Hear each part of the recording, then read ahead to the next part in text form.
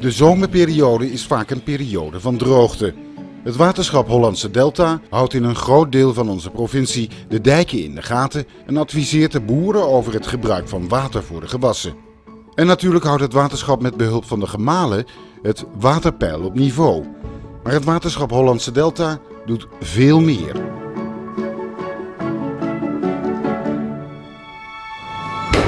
Door deze leiding komt al het rioolwater van de gemeente Dordrecht op onze zuivering terecht. Onder andere is dat het rioolwater uit badkamers, wc's. Je wil niet weten wat erin zit. Bij droog weer komt hier ongeveer 3 miljoen liter per uur op onze zuivering binnen. Bij regenweer is dat ongeveer 9 miljoen liter per uur.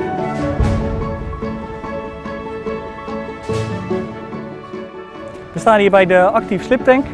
Uh, al het rioolwater uh, wordt hier uh, in contact gebracht met de bacteriën.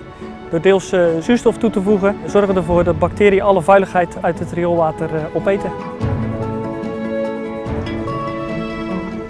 In deze tank bezinkt het slip naar de bodem en het gezuiverde water stroomt hier over de rand weg. Na 24 uur stroomt het gezuiverde water hier weer de rivier op.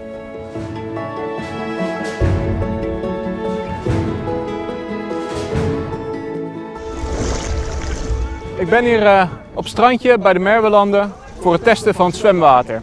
Daarbij testen we op bacteriën en op blauwe algen.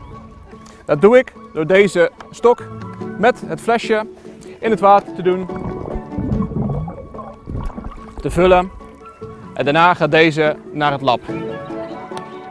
In het water kunnen verschillende bacteriën zitten, zoals de poepbacterie. Ook kunnen de blauwalgen in het water zitten. Als je deze binnenkrijgt, dan kan je daar ziek van worden. Als de resultaten fout zijn, dan komt er een bord te staan met een waarschuwing dat hier niet gezwommen mag worden.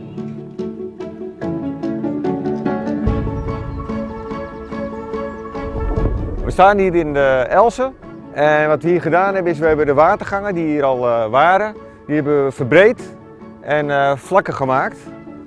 En de reden daartoe is om de waterkwaliteit uh, te verbeteren en ook dat dieren en planten meer ruimte krijgen om te kunnen ontwikkelen.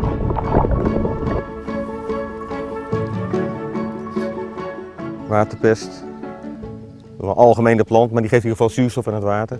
De oevers waren dus eerst steil, die ga je veel flauwer maken. En doordat je flauwer maakt, kun je meer water kwijt. Als het water stijgt, heb je een grote oppervlakte waar het water kan verspreiden. En het voordeel van een flauwere oever is dat er ook veel meer waterplanten kunnen groeien, die allemaal een verschillende drooglegging nodig hebben. Dus je hebt een veel grotere diversiteit van planten en je kan meer water kwijt en dat is goed voor de waterkwaliteit. Ook goed voor de zwanen die daar zitten.